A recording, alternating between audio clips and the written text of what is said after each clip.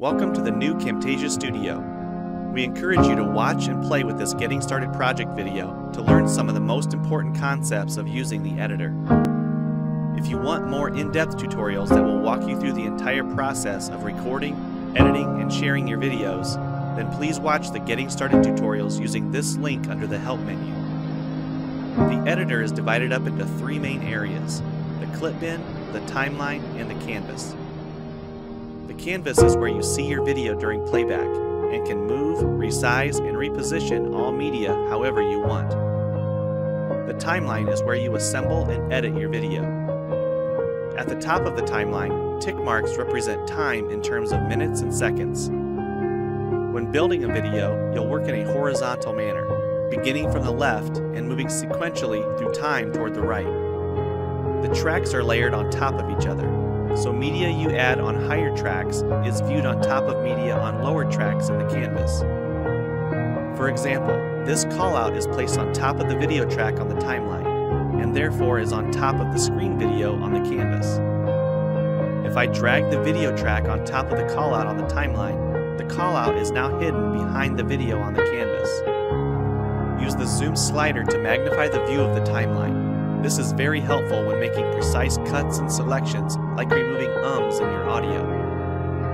New media can be dragged and dropped on an existing track, or a new track is automatically created when media is dropped at this location at the top of the timeline.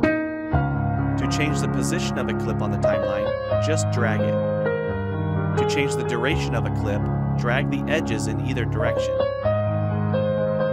An important part of the timeline is the playhead. To view your video, click play. Notice how the video and the timeline's playhead stay in sync. Click anywhere along the timeline and the playhead moves to that point. To remove a portion of your video, make a selection with the green in point and red out point. Then click the cut button. If you don't want media cut on a specific track, just click the lock icon. If you make a mistake while editing, press Ctrl Z on the keyboard to undo, or choose Edit Undo. Double-click the playhead to deselect. Next, we'll look at the clip bin and the library.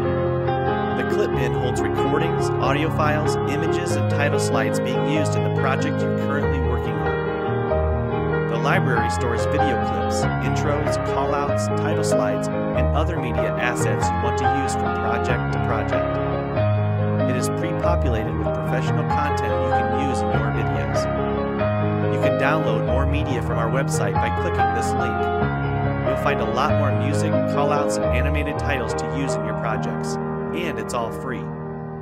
Once you find something you like, like this callout for example, just drag it to a track on the timeline and resize and reposition it as needed. Double-click the callout on the canvas to open the Callouts tab and edit the text or change any of the text properties like color or size. You can find a number of other callouts to use in your projects by expanding the Shapes menu. You've probably noticed the video zooming in and out at times, for example here when it's zooming into the timeline. To learn more about adding and customizing zoom and pan animations to your video, check out the other Getting Started tutorials on our website. We've talked about some of the tabs already, but be sure to explore the others for adding and editing special effects. If they don't all show up as tabs, click on the More tab to explore others, like the speech-to-text capabilities and captions, and the improved quizzing. Also, transitions can now be dragged directly to the timeline and added on top of clips. So we've shown a few ways you can navigate and edit your video. But how do you get content into your video? To make a new screen recording, click the Record the Screen button. If you already have an audio or video recording you'd like to use, click the Import Media button. When you're done with your video project, you'll need to click the Produce and Share button to create a shareable video. Expand this menu to see a variety of presets.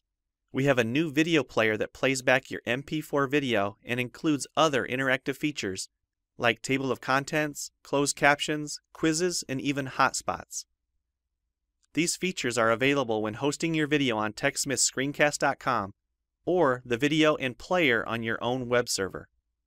This player provides playback on multiple devices with just one video, whether it's a phone, tablet, laptop, or desktop computer.